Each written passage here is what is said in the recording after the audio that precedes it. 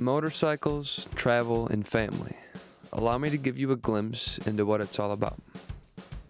Well, I suppose really we'd have to start back with my dad in 1969 when he got his first bike. Because after all, he got me into bikes. Well, he started out on a Triumph Bonneville and he did a total redo of the stock motorcycle engine, pipes, all that stuff.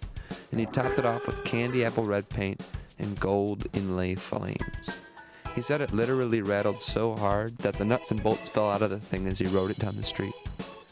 And as years passed and kids came rolling along, I think motorcycles sort of fell out of the spotlight for him. That is, until the big Harley Davidson craze of the mid 90s hit, and my dad just had to saddle up on a brand new 94 Ultra Glide. Well, it was on that bike that we took our first trip together, him and I, to attend the Hog Rally in West Branch, Michigan. And this was kind of a big deal. I was 10 years old and it was my baptism into the biker lifestyle. It was there where I experienced firsthand the glue that motorcycles can form between people, and in our case, between father and son.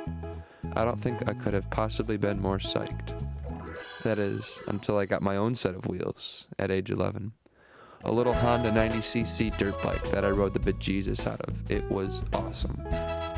And in a few short years, I graduated to a real cruiser at the age of 16. And that very next summer, my dad and I made the pilgrimage out to the largest motorcycle event held in the world the Sturgis Rally in the Black Hills of South Dakota. Well, it was through this first westbound trip that we began to realize just how incredibly massive this country is, and what better do we have to do than to go out and see it all.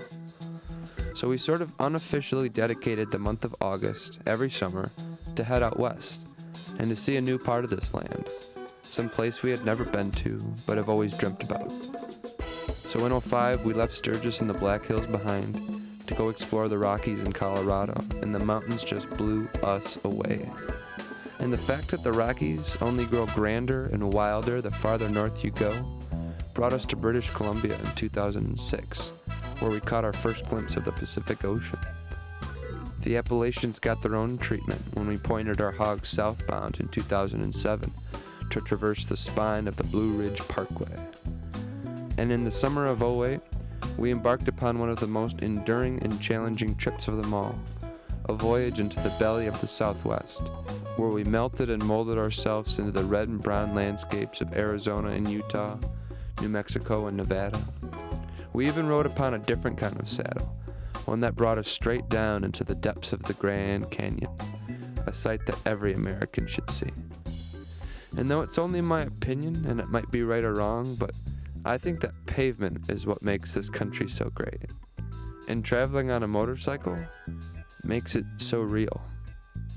But sharing that experience with someone who means so much to you, now that is really what it's all about.